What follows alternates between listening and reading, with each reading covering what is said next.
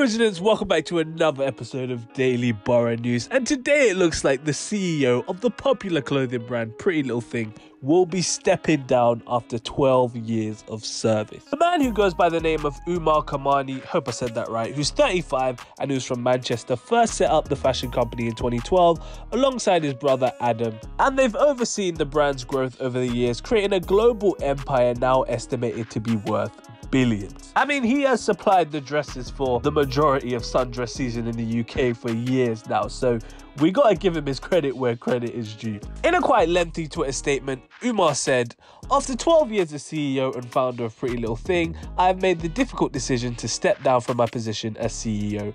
12 amazing years that changed my life, and I will forever be grateful for all those memories.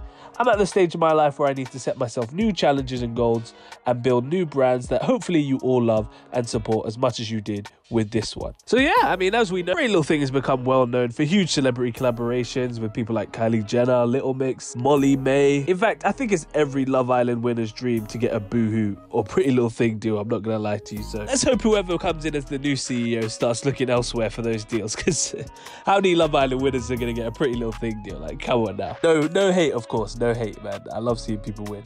But that's all I have for you today. Let us know if you want us in the comment section down below, and I will see you guys in the next episode. Take care.